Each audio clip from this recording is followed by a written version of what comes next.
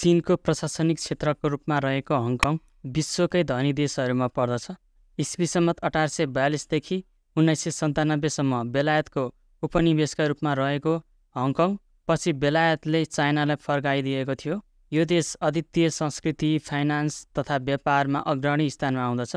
यो देशको जम्मा क्षेत्रफल दुई हजार सात सय पचपन्न वर्ग किलोमिटर रहेको छ। जुन नेपालको मकनपुर जिल्लाभन्दा अलिकति ठुलो हो। हङकङले समुद्र तथा चाइनासँग चाहिँ बोर्डर सेयर गर्दछ। हङकङको जम्मा जनसङ्ख्या पचहत्तर लाख रहेको छ।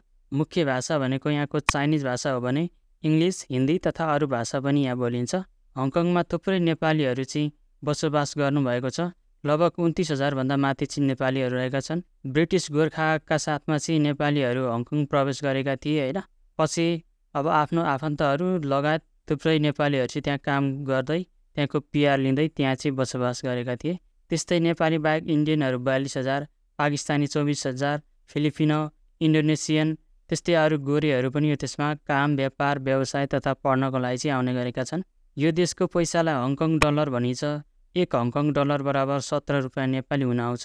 यो दर रेट घटबड भइरहन्छ।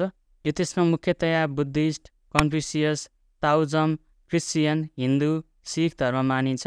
यो देशको मुख्य आय स्रोतहरूमा पर्यटन व्यापार तथा व्यवसाय उत्पादन फाइनेन्स आदि रहेका छन्। हङकङमा थुप्रै घुम्नै पर्ने ठाउँहरू रहेका छन्। Disneyland Victoria Peak Ocean Park नोङपिङ cable car fishing village विभिन्न साना ठुला आइसल्यान्ड लगायत यहाँको सहरी जीवन संस्कृति तथा मुख्य रसाउने परिकारहरू पनि यो देशमा पाउँदछ। पहिले पहिले नेपालीहरूलाई घुम्न जान हङकङमा भिसा लाउन पर्दैन थियो तर नेपालीहरूले त्यसको व्यापक दुरुपयोग गरेपछि हङकङ सरकारले भिसा लगाएर मात्र आउनुपर्ने नियम बनायो।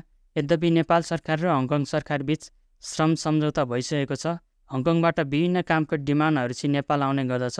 यो डिमान्ड हेर्न डिओएफी डट जिओभी डट एनपीमा गएर फरियन जब सर्चमा गएर हङकङ सेलेक्ट गर्नुपर्नेछ हङकङबाट आउने डिमान्डहरूमा bartender cabin steward waiter bar boy जाँचको काम लगायत थुप्रै कामहरूको चाहिँ डिमान्ड नेपाल आउने गर्दछ। विशेष गरी चाहिँ होटल रेस्टुरेन्ट क्यासिनो अनि यो सिप पानी जहाजहरूको काम चाहिँ नेपालमा आउने गर्दछ।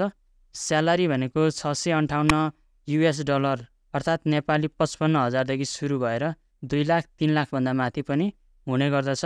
यो तपाईँको काम तपाईँसँग हुने भाषा लगायत कुराहरूमा चाहिँ भर पर्दछ। खान बस्न कम्पनीले दिने गर्दछ। हप्तामा छ दिन दिनको आठ घन्टाको दरले चाहिँ काम गर्नुपर्छ। ओटी कम्पनीको नियमअनुसार हुन्छ। साथीहरू तपाईँहरूलाई चाहिँ मेन पावर तथा एजेन्टले लागत कति लाग्छ कमाइ कति हुन्छ भनेको छ कमेन्ट गर्नुहोला। तपाईँले सात वर्ष बसेपछि यो देशको पिआर पाउनुहुन्छ।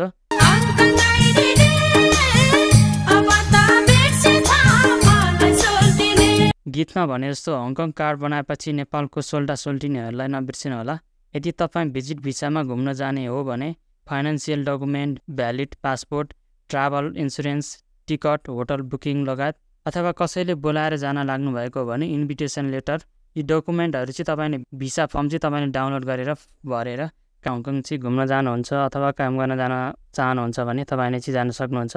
हङकङमा तपाईँको राम्रै स्यालेरी पनि रहेको छ र घुम्नको लागि पनि एकदमै घुम्नै पर्ने देश पनि रहेको छ। र साथीहरू यही थियो आजको भिडियो। भिडियो कस्तो लाग्यो?